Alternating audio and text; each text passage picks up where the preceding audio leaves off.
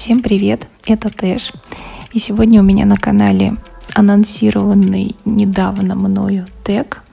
Он будет называться раскрашивательный тег «Тест. Моя личная антистресс-эффективность». Этот э, тест я придумала в рамках своего проекта, который, к сожалению, так и не был реализован. Я о нем рассказывала в видео, ссылку на которое я оставлю в описании. Это был запланированный трекер раскрасок с дополнительными материалами по нашему хобби, по хобби колористика. Но поскольку блокнот с трекерами издан не будет, а все-таки тег, мне кажется, довольно интересный, а тег я вам а, предлагаю послушать и заодно призываю вас тоже попробовать пройти этот тест и потом поделиться с нами, а, может быть, на Ютубе, может быть, а, где-то еще в Инстаграме, может, видео запишите, может быть, просто в виде фотографии выложите ответы на вопросы. В общем, кому как понравится.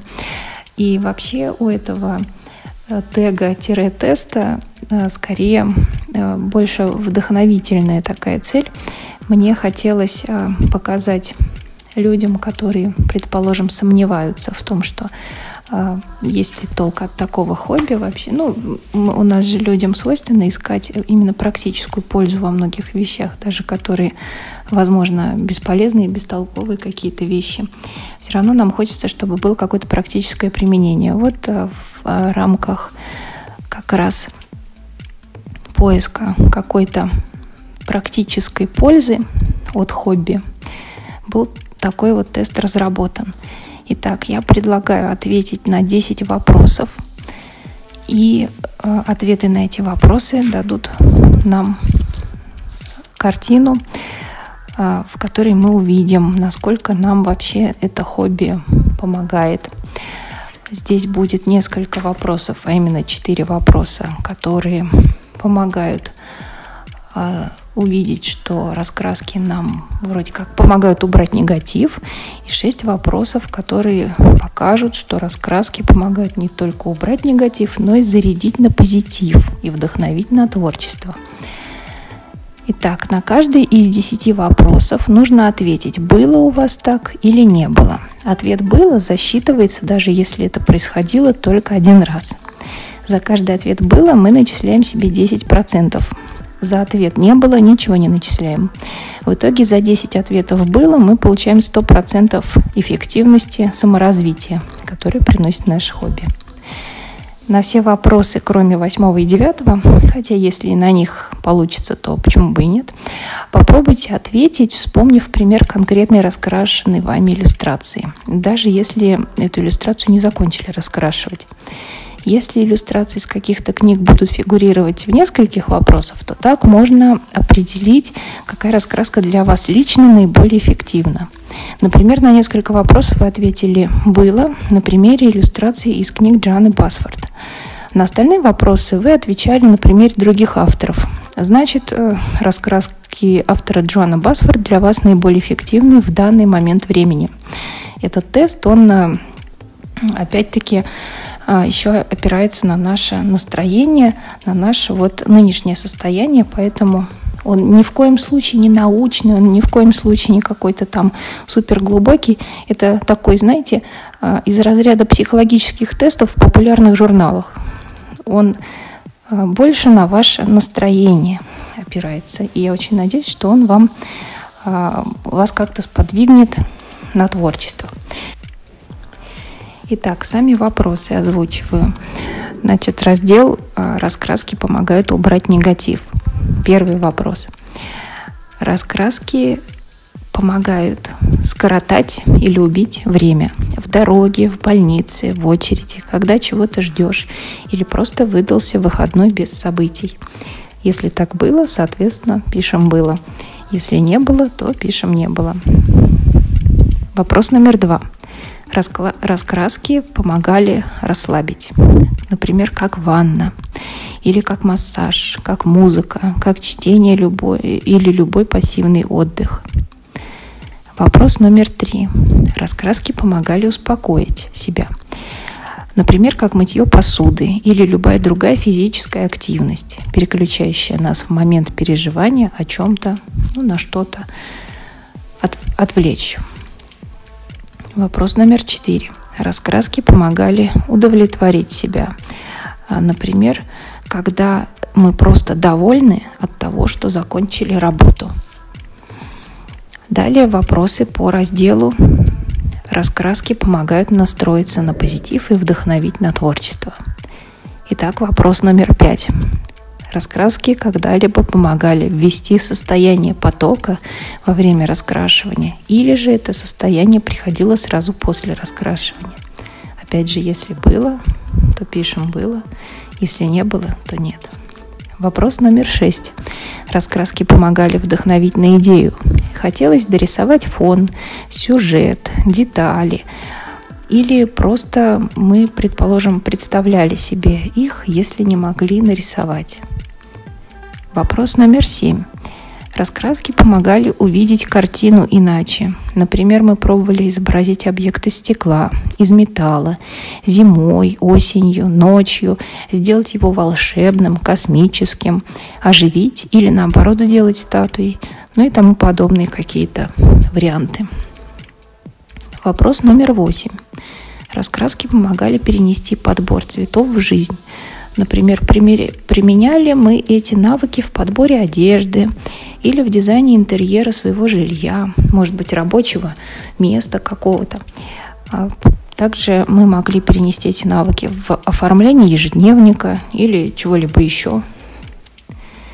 Вопрос номер девять. Возникало желание систематизировать вещи, а значит, мозг наш тренировался упорядочивать и организовывать информацию, систематизировать канцелярию, арт-материалы, коллекции, планировать, ставить и выполнять цели, вести учет и тому подобное.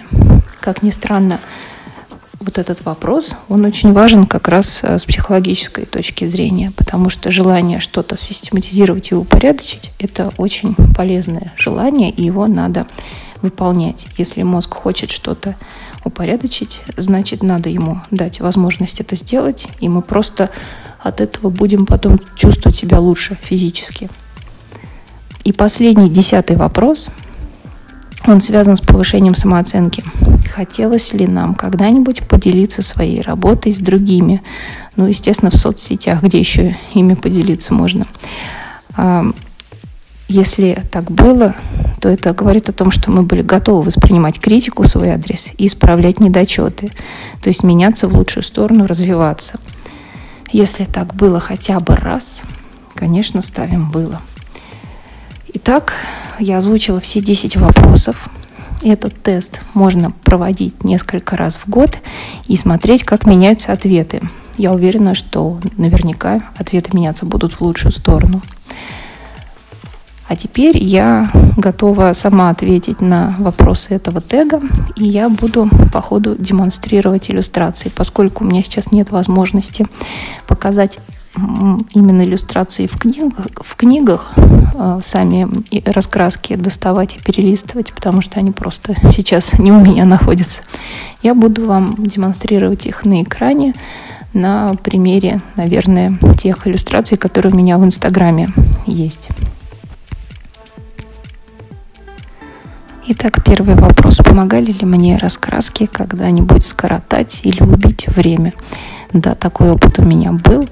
И как это не, неприлично звучит, был у меня такой опыт на э, планерках, на рабочих, когда я сидела, слушала ту информацию, которая меня не касается, либо которая мне казалась скучной, но тем не менее я ее слушала. И вот по ходу я сидела и что-то красила пример покажу на экране, конечно. Вопрос номер два. Помогали ли мне раскраски расслабиться, как ванна, массаж или музыка? Да, конечно, такое бывало, и чаще всего у меня это происходило за раскраской от АСТ «Раскрась Юги жизнь». Иллюстрации из этой книжки я, как правило, в Инстаграме не вывешиваю, потому что они, на мой взгляд, очень простенькие. Но, тем не менее, свою функцию как расслаблялочка эта книжка выполняет отлично, по крайней мере для меня. Вопрос номер три. Успокаивали ли меня раскраски, как мытье посуды или любая другая физическая активность в момент переживания? Да, успокаивали. И я могу сказать, что это успокоение у меня происходит в момент э, работы многослойной, э, в многослойном режиме, то есть когда я слой за слоем карандашами именно что-то раскрашиваю. Так у меня было в иллюстрациях с Джоной Басфорд, наверное, в начале своего увлечения раскрасками. Я вставлю иллюстрацию. Это у меня большой разворот есть с телескопом и замком из книги «Зачарованный лес», по-моему, называется. Я уже сама забыла. Там много листиков по краю, по рамке. И вот я помню эти листики, вообще всю эту картинку все-все-все раскрашено карандашами. Вот, вот эта послойная вот эта работа, она меня как раз успокаивала вот в таком стиле. Вопрос четвертый. Помогали ли раскраски удовлетворить, когда просто доволен, что закончил какую-то работу? Да, и такое у меня было. Было у меня это тоже с раскраской «Зачарованный лес», а, потому что это одна из моих немногих книжек, которую я закончила, и некоторые иллюстрации мне не нравятся совсем, как у меня получились, но я была довольна просто, что я их закончила, а, что опыт, он какой бы ни был, все равно опыт. И вот я испытывала удовольствие. В частности, мне нравится, я испытывала вот эти ощущения от иллюстрации с компасом. Это была последняя иллюстрация в книжке. Она не какая-то там обалденная, не супер красивая, не супер оригинальная, вообще не оригинальная, но я именно, раскрасив ее, испытала именно что удовлетворение от того, что я ее раскрасила наконец-то. Была очень довольна. Пятый вопрос. Помогали ли раскраски ввести в состояние потока во время раскрашивания? Да, было у меня такое, причем у меня это довольно часто происходит. Во время раскрашивания мне часто я испытываю вот это состояние, мне приходят в голову разные идеи, разные прям э, такие, которые нужно записать, чтобы потом попытаться реализовать как-то идеи для нового видео. Это было много раз. Одна из таких иллюстраций, которые помогали мне поймать состояние потока как раз на экране. Это иллюстрация из книги «Таинственный сад» Джоанны Басфорд. Вопрос 6. Помогали ли раскраски вдохновить на идею? Да, такое было довольно часто. Мне хотелось дорисовать фон, сюжет, детали. И вы сами знаете, наверное, по моему инстаграму, что я это делала довольно часто в книге «Зачарованный лес», да и во многих других книгах взять того же Кирби Розаноса с чардревом дорисованным. В общем, иллюстрация сейчас появится на экране, все как обычно. Вопрос номер семь. Помогали ли раскраски посмотреть на картину иначе? Зимой, стеклянная, металлическая и так далее – да, я несколько иллюстраций переделывала в зимнем варианте, опять же, в зачарованном лесу.